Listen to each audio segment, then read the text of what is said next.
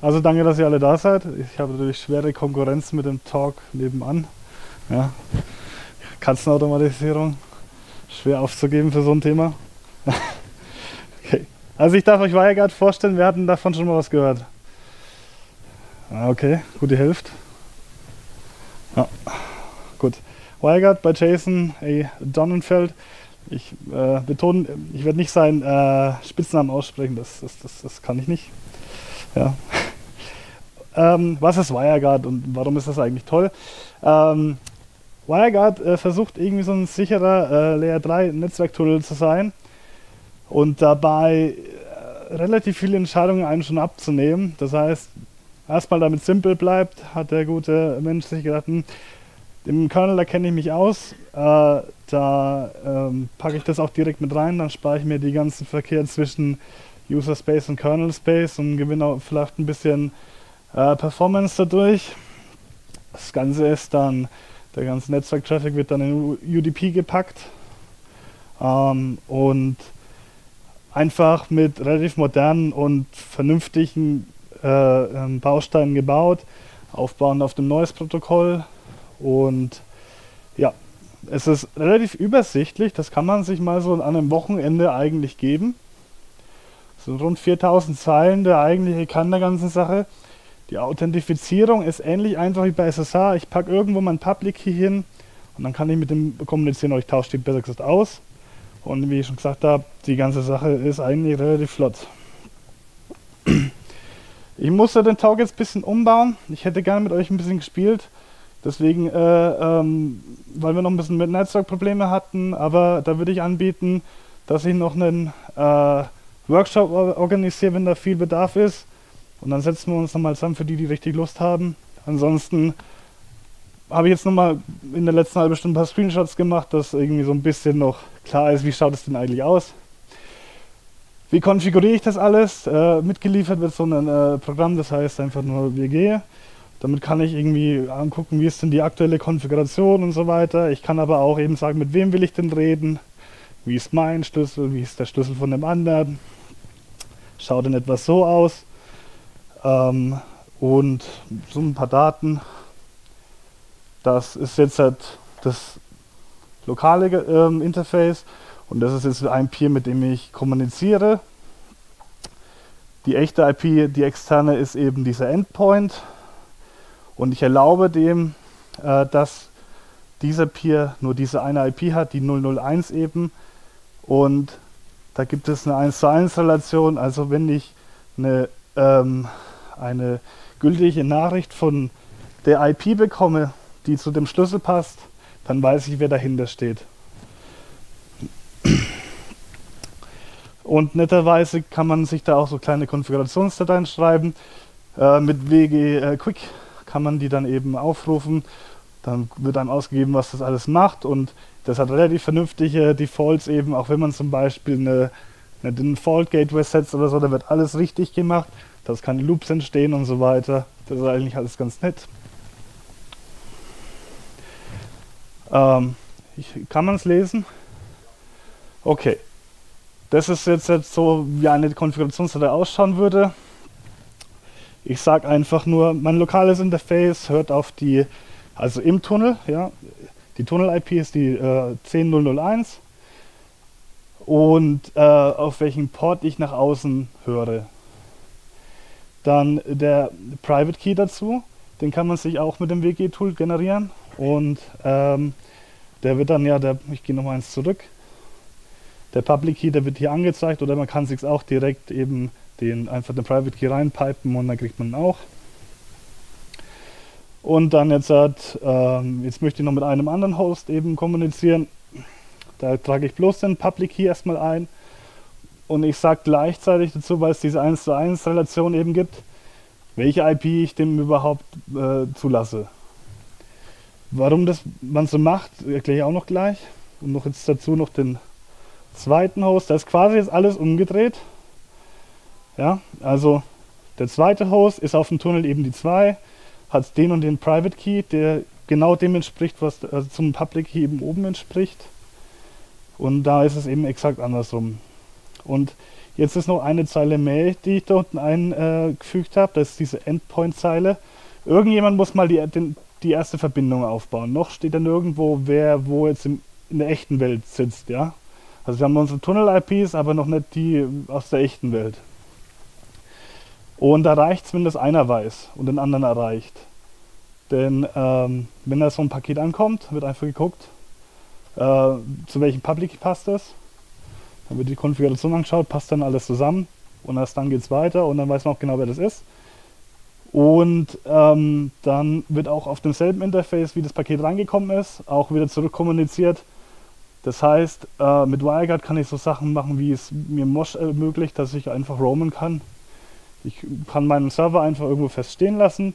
Mit meinem Gerät, mit dem ich einen Tunnel aufbaue, der weiß, wo der Server steht. Der Server weiß aber vielleicht gar nicht, wo der Rest ist.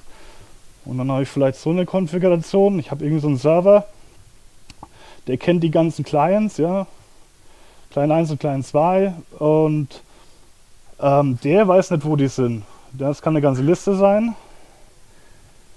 Und wenn ich jetzt so einem kleinen so einem Server bin, dann muss, bin ich derjenige, der verantwortlich ist, einfach zum Server die erste Verbindung aufzubauen. Aber dann kann ich einfach irgendwo sein, solange ich den Server erreiche, kann ich mit dem auch über WireGuard reden. Und das funktioniert einwandfrei. Genau. Und ähm, was man da auch noch, äh, ich glaube, da habe ich mir einfach verdippt. Statt dem letzten hätte ich einfach da auch 000 und slash 0 schreiben können.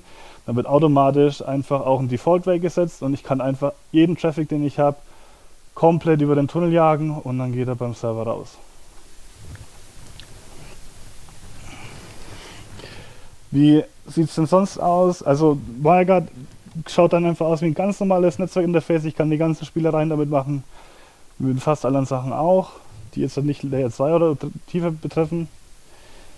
Ich habe, wenn man irgendwie Hardtop aufmacht, dann sieht man davon nichts, weil alles im Kernel lebt. Ähm, man macht dieses Interface, man konfiguriert seine Peers und ist im Prinzip fertig. Der ganze Kram von internen State Sessions, wer jetzt wie connected ist, sehe ich jetzt erstmal gar nicht. Es verhält sich für mich einfach wie ein ganz normales Interface.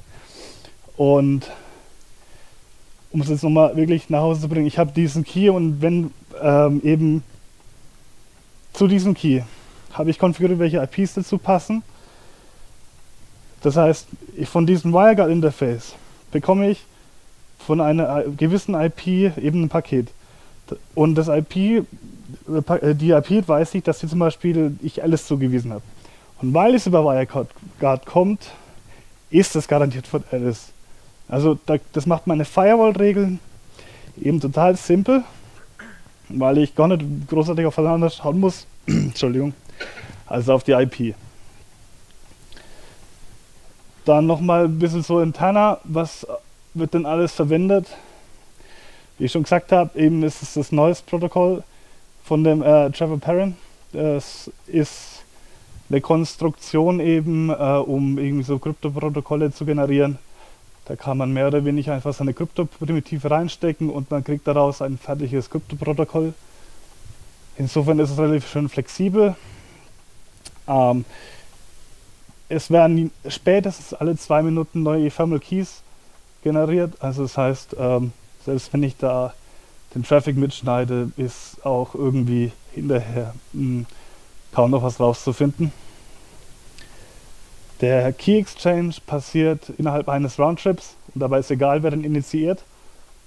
Jeder kann einen neuen Key Exchange auch ähm, anfordern.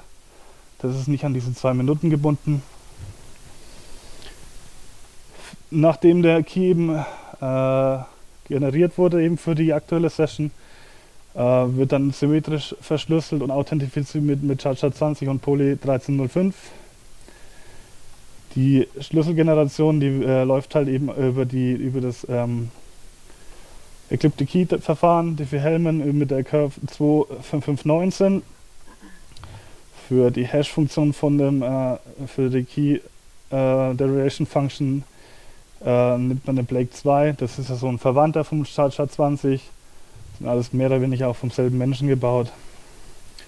Und dann so die, äh, nach dem Verfahren ist einfach für die Key Derivation ist einfach das HKDF-Verfahren äh, und für dann interne die IP-Einträge äh, IP und die äh, Public Keys und so weiter intern Das wird mit zip-hash gemacht. Und jetzt halt noch so ein paar Kleinigkeiten und wirklich, wirklich nette Entscheidungen, die man sonst selten sieht. Nur in dem Moment, wo ich wirklich einen neuen Peer zufüge zu meiner Konfiguration, in dem Moment wird aller Speicher, der jemals dafür benötigt wird, alloziert. Kein Paket sorgt dafür, dass neue Speicher angefordert wird. Also eine Menge Fehler sind da schon einfach raus. Und genauso wenig äh, die ganzen Paket-Header, ein kleiner Header muss ja mit rein in das UDP-Paket um das äh, andere Paket herum. Das sind alle statische, äh, statisch große Felder. Also kein Parser nötig, keine Leihparser nötig. Ich, kann ein, ich weiß genau, wo was steht und wenn es keinen Sinn macht, werfe ich es weg. Und sobald da irgendwie nur irgendwas komisch aussieht an diesem Paket, werfe ich es weg. Und mein Zustand ist wie davor auch. Also ich ignoriere das komplett. Es hat kein ein, ein nicht authentifiziertes Paket, hat überhaupt keinen Einfluss über den, über den internen State. Und das ist echt eine, äh, das sind einfach so ein paar Sachen, die das recht, das sieht man selten so in der Form, dass das einfach wirklich strikt durchgezogen ist. Und statt irgendwelche Fehler zu beheben, werden sie erst unmöglich, werden sie erstmal unmöglich gemacht. Finde ich einen ziemlich schicken Ansatz. Genau, äh, zur Performance. Ich hab, war selber relativ überrascht. Momentan ist es so, es ist eine reine Kernel-Implementation, die hat natürlich nur diesen äh, User Space Kernel Space Kopie-Vorteil. Es sind ein paar andere ähm, Implementationen in der Mache auch, einen Go, einen Rust, ähm, damit man das halt eben auch irgendwie außerhalb von Linux irgendwann mal betreiben kann. Momentan sind die aber noch nicht äh, fertig oder funktionieren nicht so hundertprozentig selbst auf unbeschleunigter Hardware und relativ schwacher oder alter ist dieser Charger 20 ähm, Verschlüsselungsalgorithmus echt flott. Also das, da wurde halt einfach gezielt auf äh, teure Operationen verzichtet. Es wird relativ wenig einfach nur herum äh, oder zufällig herumkopiert, wie es bei AES so aussieht. Ja. Und im Gegensatz zu AES ist es halt auch deutlich einfacher, äh, gegen Timing-Attacken zu schützen. Da ist AES ohne ähm, extra Hardware eigentlich immer recht anfällig für.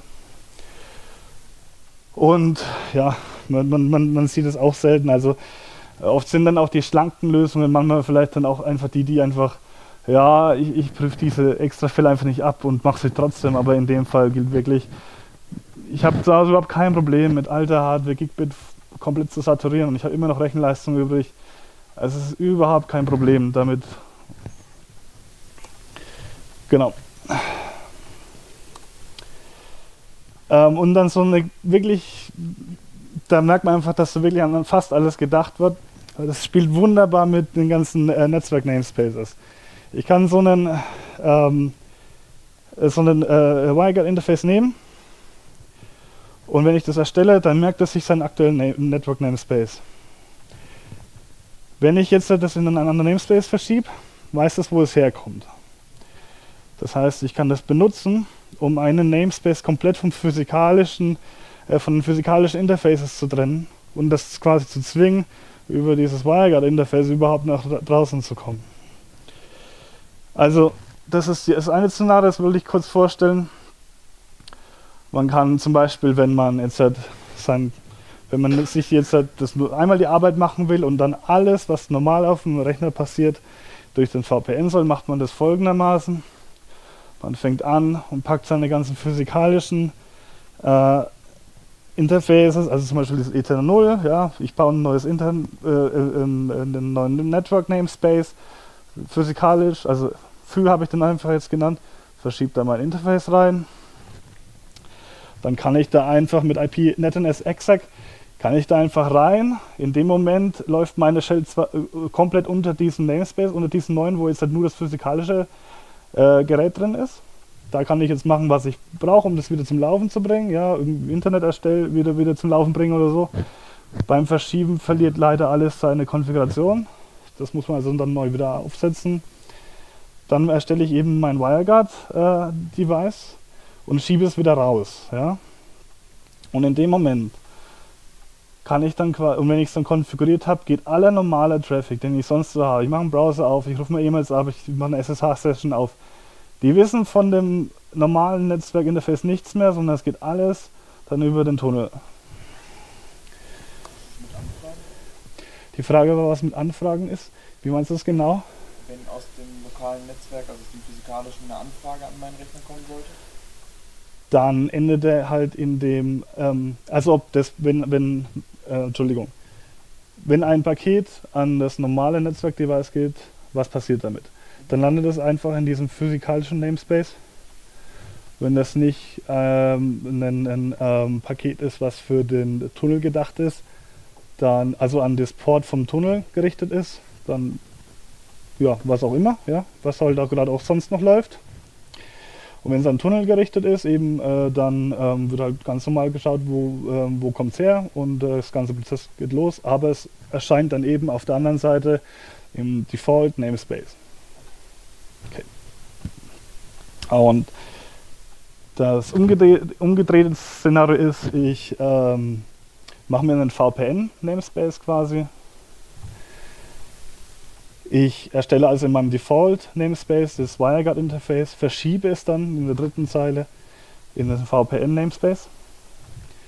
In dem Moment hat also dieses äh, äh, WireGuard-Interface immer noch Zugriff auf alles, was da war.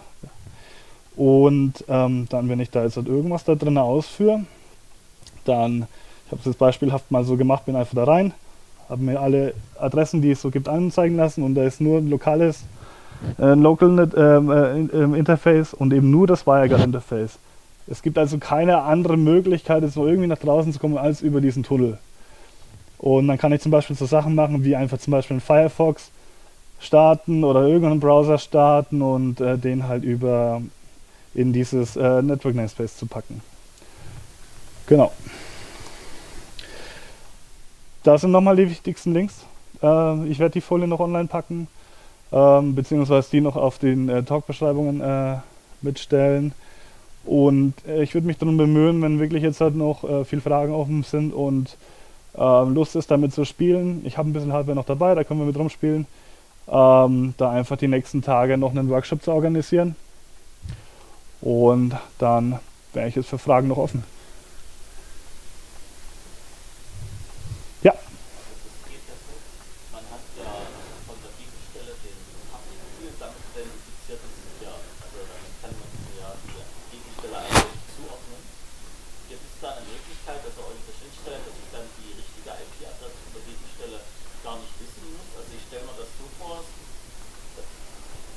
Also es geht halt darum, die, die beiden Gegenstellen, also die miteinander kommunizieren, haben ja den Public Key zur Identifikation.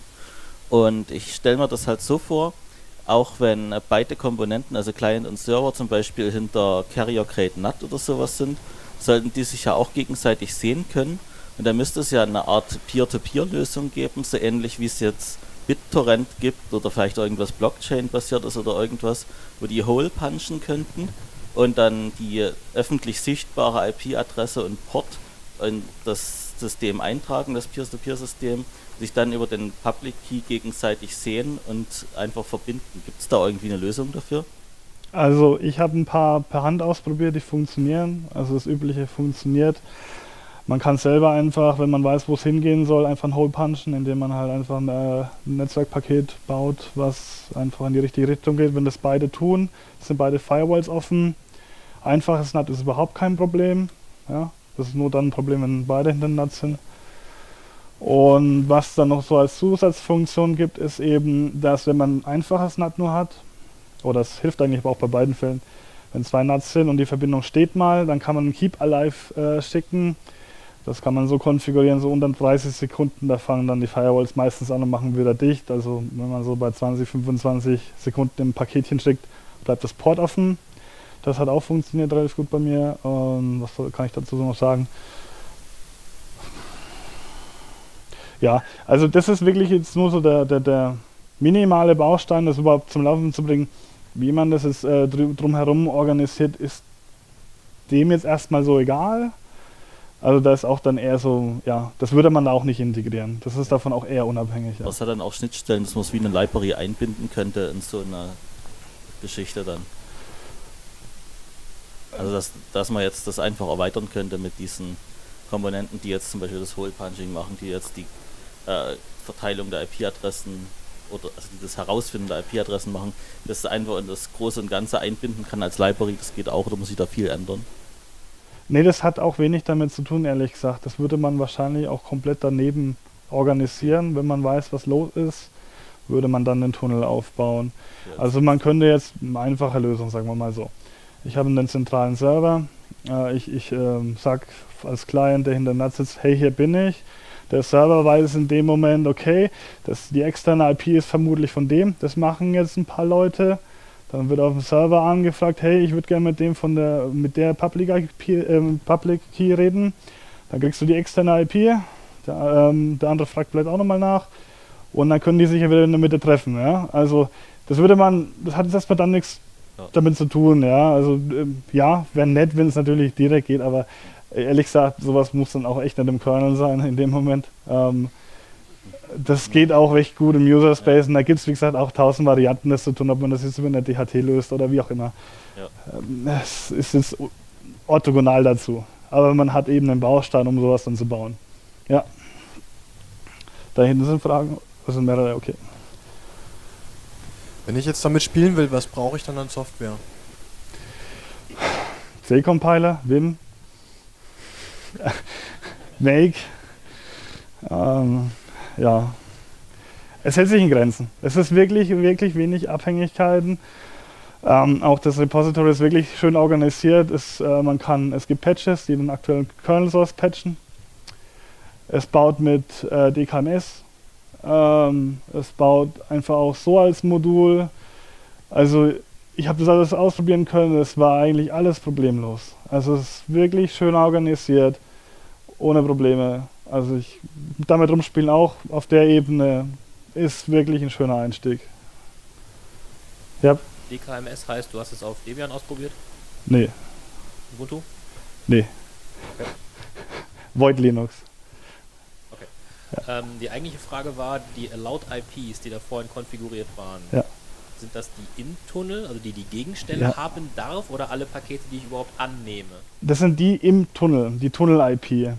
Ich kann auch sowas zu machen, ich kann alle zulassen, ja. Also das ist, äh, damit ich, wenn ich eben äh, über einen Server äh, tatsächlich ins Netz will, dann muss ja von dem aus ich ähm, von allen IPs ähm, Nachrichten bekommen. Der Server selber spricht mit mir über die Tunnel-IP. Aber über den Tunnel kommen natürlich auch, sobald ich mal diesen Hop weitergehe, weltweit die IPs. Also ich kann das so eng wie möglich schnüren. Ich kann auch wirklich eine Liste von Einzel-IPs angeben, die ich sage, die ich über den Tunnel überhaupt hören will. Oder ich kann sagen, es ist mir recht, du bist jetzt mein Gateway, äh, ich nehme alles an. Also letztlich ist das schon eine Art Firewall quasi. Es stellt halt sicher, dass man zu dem Maße diese, diese Relation von Public Key zu IP eben ähm, erstmal festnagelt. Und wenn ich dann halt und darauf entsprechend eben äh, kann ich dann meine Firewall-Regeln aufbauen. Also wenn ich zum Beispiel jetzt halt, soll ich sagen, also das macht halt in dem Sinn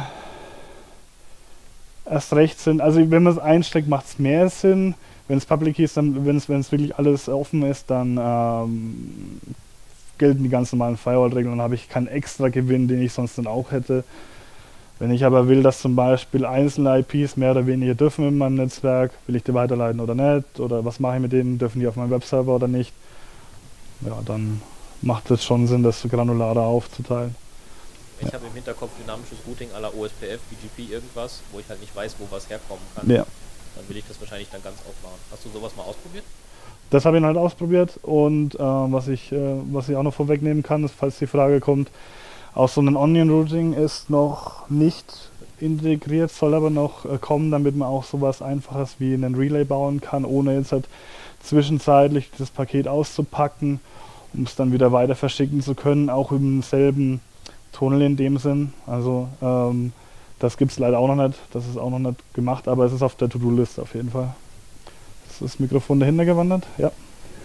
Ähm, mich würde interessieren, ob es ähm, die Möglichkeit gibt, über eine zentrale Stelle, also über einen zentralen Server, ähm, ein Full Mesh zu initiieren. Das geht, schlägt in die Kerbe eben. Also ich kann, was ich machen kann ist, das ist quasi ja das, ähm, das Server-Client-Beispiel. Das ist jetzt auf meinem Server. Der Server ist einfach erreichbar über die, die 001 eben, zentral. Da schickt jeder hin, von da aus schickt jeder weg. Und ich kann aber auch zur Not zwischen Client 1 und 2 in dem Beispiel jetzt halt zusätzlich auch noch eine, eine Verbindung jetzt in den Tunnel aufmachen. Das stört jetzt erstmal nicht. Automatisch geht es aber noch nicht. Ja, das war der Punkt, ich müsste es dann wieder manuell initiieren. Ja, Aber dass das der ist- Server das sozusagen vermittelt, das Ist jetzt hier drin nicht vorgesehen, auch nicht ist auch nicht in integriert. Also, Wenn dann auch wieder so eine externe Lösung. Also dabei muss man da auch wirklich erst äh, wirklich das, das ist ein Lego-Stein. Wie ich den jetzt verwende, was man meint, aber was das tut, ist zwischen zwei Leuten einen sicheren Kanal aufzubauen und ein paar extra Nettigkeiten auch noch mit reinzupacken. ähm, und da habe ich noch eine zweite Frage. Ähm, kann man den Public Key auch an die, an, äh, sozusagen an die erlaubte externe IP binden? Nicht, dass ich wüsste, würde er auch dann das ähm, Roaming kaputt machen. Definitiv. Eventuell kann man natürlich eine vorgelegte Firewall-Regel das damit, äh, ja, damit hinkriegen. Ich erlaube von einer gewissen IP oder nur von so, äh, so von den und den IPs an das Pod vom WireGuard äh, ähm, zu, zu, zu binden zum Beispiel.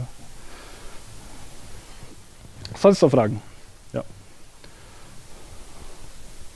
Ja, nur kurz. Ähm, wie sieht es mit IPv6 aus? Geht Sowohl- alles. Ich habe das jetzt bloß, weil es schöner zu lesen ist, in, in Okay, also gemacht. sowohl zwischen den Peers als auch im Tunnel. Mhm. Ja.